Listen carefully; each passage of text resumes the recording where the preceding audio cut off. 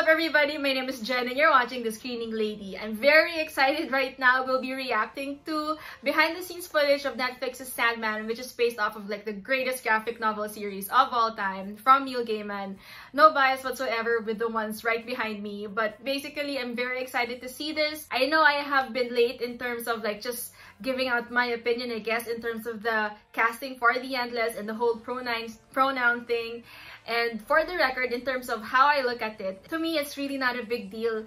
And it's something that's definitely within the comics already. The whole inclusivity of it, I think it's even ahead of its time. Like the whole point of Desire is, is gender neutral. Desire is desire. There is no gender to that. And I'm, I'm glad that we have this representation. And also, like, Death, I don't, she's beautiful and the whole point of death also is the real beauty that you can't say no to. So like the that's the whole point. And like i know i'm kind of excited and speaking in like high-pitched voice the whole time but if i just take a breath slow down and you know watch the whole series with you guys you can definitely have more in-depth discussion about the endless about the stories because like this whole thing is is really something else. Anyways, Netflix came out with some Geek Week uh, footage and I can't wait to share this experience with you guys. So please don't forget to like and subscribe to this channel. We're definitely going to be reacting to the series when it comes out. And right now, let's just enjoy behind the scenes video in 3, 2, 1.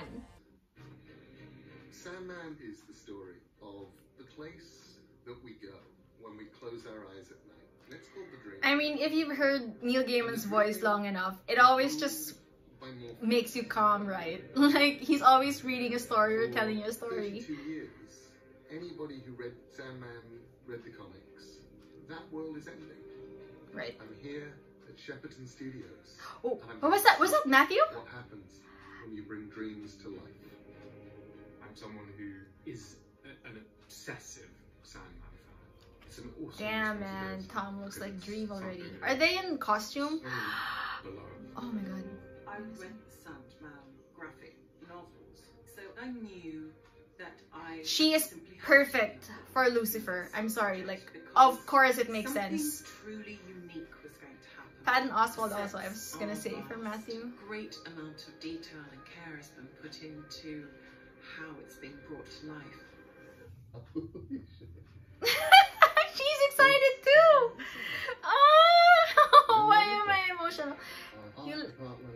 We know like how long he's really waited for something or someone to come up with the real adaptation of Sandman that matches his, and you know that's him. what they conjured here, it's like walking around inside your own dream.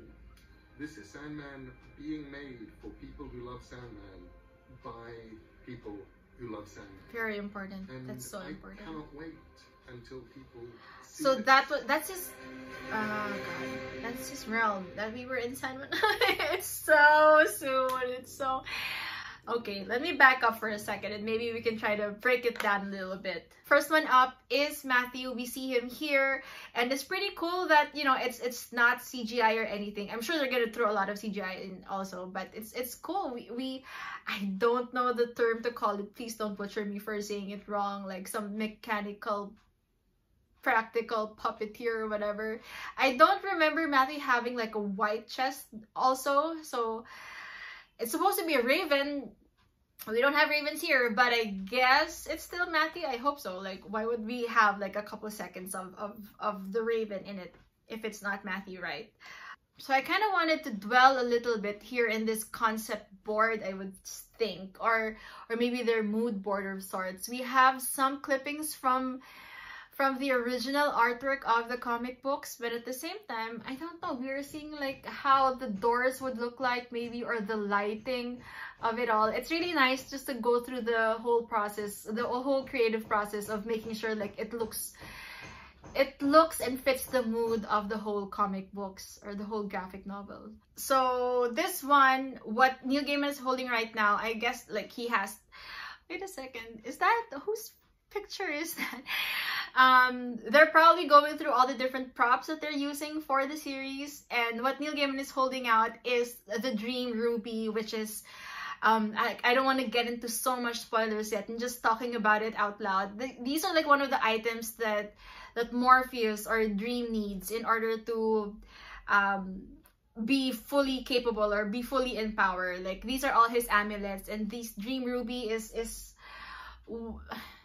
it's it's the most powerful item in terms of controlling the dreaming of of mortals.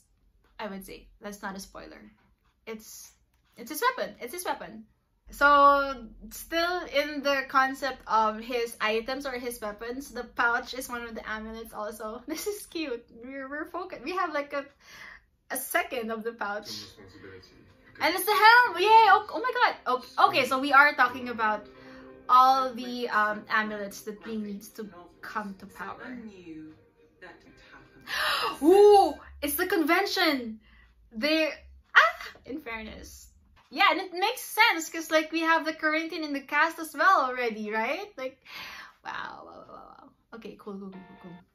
So we know that the show is gonna come out by later 2021, this year, definitely this year, right? So please don't forget to like and subscribe to this channel so we can both fangirl or fanboy about this series and really just, you know, hold hands together and be excited.